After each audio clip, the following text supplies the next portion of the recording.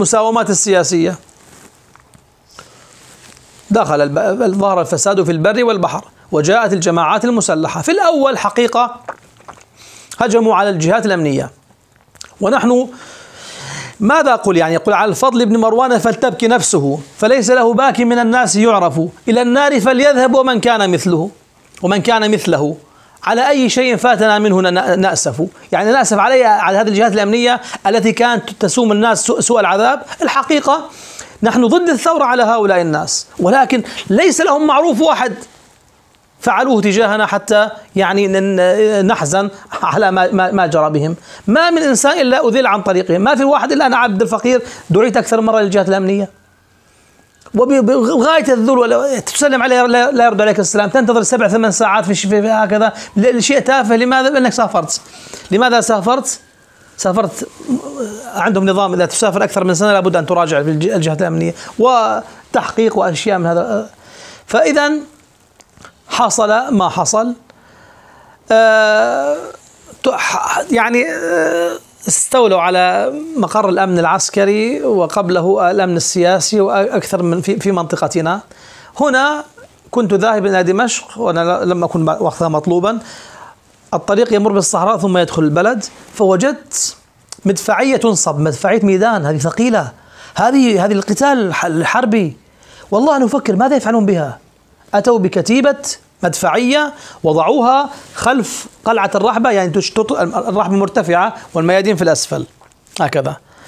فماذا يفعل بمدفعية الميدان؟ لماذا يأتي بها؟ أنا أفكر. لم يخطر في بالي أن الشعب المدني سيقصف بعد ذلك بالمدفعية. كان وقت رمضان وصار يضرب. في الأول بدأ يضرب القرى البعيدة. وهكذا يضرب بدون هدف. المهم أن جاءت إلى أسرة في وقت السحور فماتوا جميعا. قنبلة مدفع مدفع مدفع ميدان جاءت إليهم من السقف فقتلت جميع الأسرة ماتوا عدد قريب من عشرة كانوا يتسحرون. أه سبعة عشر رجلا أو امرأة ماتوا في في قنبلة واحدة. جاءت قذيفة أخرى في سوق ليبيع الثياب المستعملة والفقراء في منطقة اسمها آه، يعني القرية. تبعد عنا حوالي أقل من أقل من 20 كيلومتر. جاءت قذيفة ثانية في قرية أخرى فرأيناهم يقصفون السوق. جاءت واحدة في بيتنا في بيتنا نحن وكنا قريبا من عشرين إنسان مع اطفال نلتجي الله تعالى نقرأ ياسين ونتوجه إلى الله تعالى. يا أخي ماذا فعلنا؟ نحن نحمل لم نحمل السلاح. ما حما ما قتلنا احدا ولا ضربنا احدا. في عندك جيش حر يقاتلك قاتله. لماذا تقتلنا نحن؟ جاءت أول قذيفة في غرفة عندنا قديمة. سمعنا اصوات لا ندري ماذا حصل. لوقعها تكسر الزجاج في الغرفة التي نحن فيها. بدأ الأطفال الصراخ والرعب والبكاء والشيء يعني لأن الكبار أطفال لا يعرفوا ماذا يحصل. حينما يرون الكبار خائفين بدأ هكذا. حتى لا والله نفسياتهم لا ندري ماذا حصل بها. جاءت قذيفة أخرى أمام بيتنا فقتلت واحد من أولاد جيراننا. يعني ولد بسيط هكذا. يعني يعني بسيط جدا جدا يعني ربما قريب من الجذب يعني. يعني لم يكن يعني هكذا إنسان بسيط جدا جدا لا يؤذي احدا هكذا جاءت قتلته في في حينا. جاءت واحدة أخرى وربما بالغلط هذه إلى سيارة للجيش الحر فقتلت من فيها. هذا أعتقد بالغلط لأنه هكذا كان السمت موجه إلى اضرب بين كل كل كل مكان ومكان يضرب. يعني كل عشر أمتار تأتي هكذا. بلغنا بعد ذلك ممن ترك هذه الكتيبة وانشق عنها. يقول يقول آه، الرقيب أول فلان إلى النقيب يقول له يعني هل أوقظ آه، الشواية من النوم؟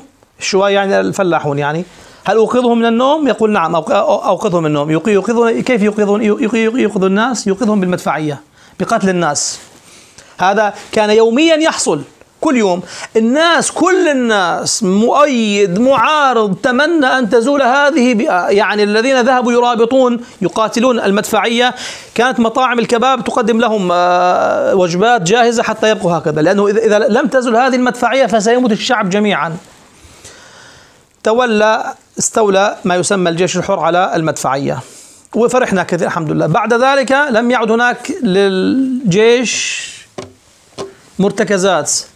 جاءتنا طائرات ميج الطائرات الروسية المقاتلة التي لم التي صدئت في مكانها منذ حرب 73 تفرغ حمولتها أين؟ فوق رؤوسنا ورعب لا مثيل له. نسمع الطائرة ثم يأتي القصف بعد ذلك. ما الذي حصل؟ لا ندري. أين جاءت؟ ثم يأتي الأخبار. جاء قذفت عمارة سكنية مات فيها أكثر من أربعين إنسان في قص في ضربة واحدة من المدنيين الأطفال.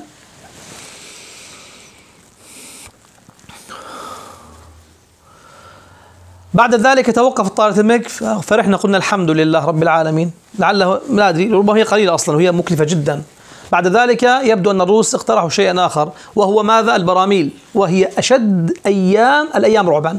أشد الأيام رعبا هي البراميل. ما هي البراميل؟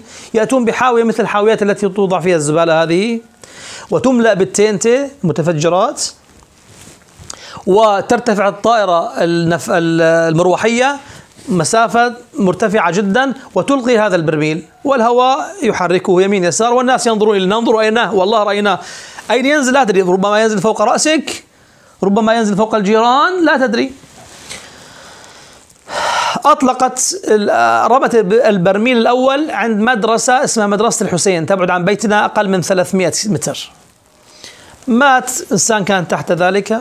الشظايا وصلت إلى كل مكان. بيتنا بيتي الأبواب انتفخت هكذا للصوت. أخي عنده طيور هكذا للزينة أكثر من عشرين ماتت للصوت. دفعة واحدة. كل الطيور ماتت من أجل الصوت. رعب لا مثيل له. حتى الآذان ربما ينزل منها شيء. دم أو غيره لشدة الانفجار. انفجار هائل جدا. وهذا يلقى كل يوم هكذا. يعني جزافا. بدون تفكير. يعني أرون أن هذا ما دام أنتم فرحتم بثورة الشعب الآن سنريكم ماذا حصل؟ هذا الأمر خرج عن السيطرة. خرج عن سيطرتنا وصار البلاء في كل مكان.